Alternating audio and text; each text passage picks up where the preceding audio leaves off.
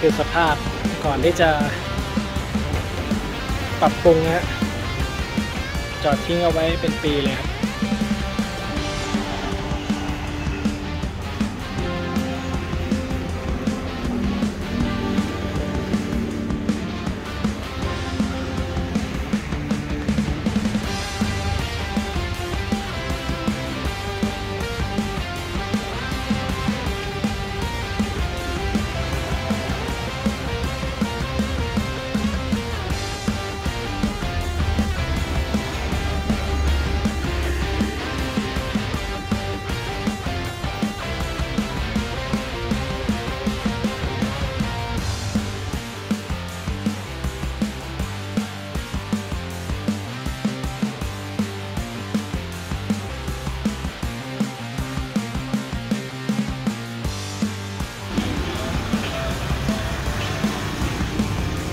สภาพไว้ก่อน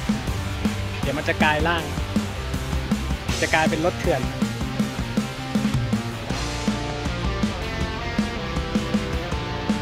โอ้ยตั้งแต่มี GIF ก็ไม่ได้ใช้เลย